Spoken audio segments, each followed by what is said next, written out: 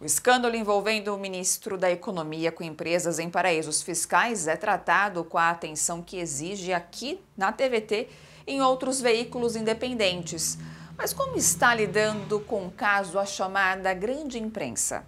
A análise é do comentarista João Caires. No passado recente, escândalos era apenas para acusar os governos de esquerda.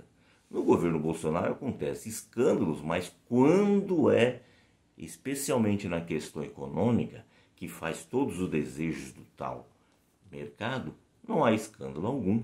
A gente vê agora, por exemplo, o caso Prevent Senior, um caso que tem que ser analisado, mas com todo cuidado, para que não aconteça o que aconteceu, por exemplo, com as empresas na Lava Jato. Se a Prevent Senior teve erro, tem que ser investigado, mas não estamos vendo o mesmo espaço, por exemplo, para os diretores da Prevent Senior se defenderem na televisão, como eles estão fazendo com Paulo Guedes.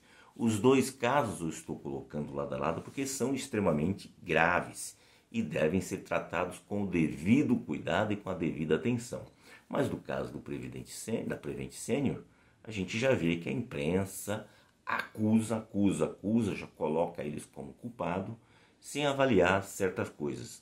E me bate uma preocupação. Tem que ser investigado sim, tem que punir as pessoas que cometeram erros, mas nós temos atrás dessa empresa milhares de usuários e milhares de funcionários que não tem nada a ver com a história. Assim como aconteceu com a Odebrecht, que tinha 600 mil funcionários, mas a Operação Lava Jato, liderada por o senhor Dallagnol e o senhor Moro, destruíram essa empresa e várias outras. Não podemos permitir o mesmo que acontecer uma empresa de plano de saúde que atende milhares de usuários que estão em tratamento. E a gente sabe que por trás dessa história toda tem uma briga entre convênios médicos que têm interesse no espólio da Prevent Senior. Então as coisas têm que ser feitas da mesma maneira. Aí a gente vê no caso Paulo Guedes uma total blindagem, assim como acontece em São Paulo, onde os governos tucanos e no início o PMDB governam o estado há 40 anos e é uma blindagem total. Nada acontece, nada se fala, escândalos acontecem, são abafados. Pessoas que estiverem envolvidas em escândalos do próprio partido estão à frente de órgãos importantes e fica por isso mesmo, inclusive tem espaço diário praticamente na TV tentando recuperar a sua imagem e assim a grande imprensa ajuda os seus. Então temos que avaliar com cuidado o papel da grande imprensa e refletir refletir e fazer opinião valer a pena. Então hoje nós temos outros meios, temos aqui a nossa TVT, a Rede Brasil Atual, temos as redes sociais, onde as pessoas que querem um país melhor possam sim mostrar a verdade.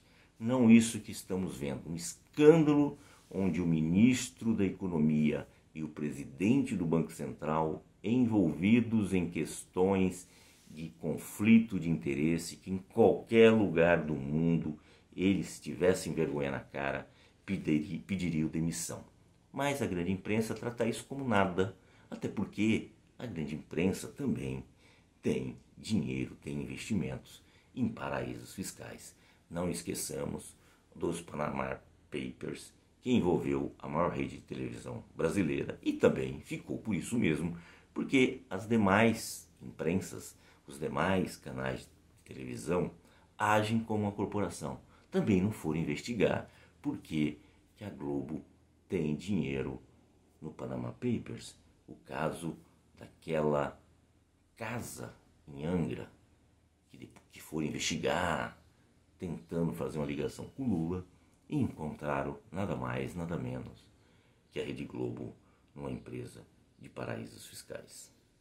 Gente, bora fortalecer a TVT? É só clicar em inscrever-se e depois clicar no sininho. Pronto! Assim que pintar notícia nova, você fica sabendo no ato.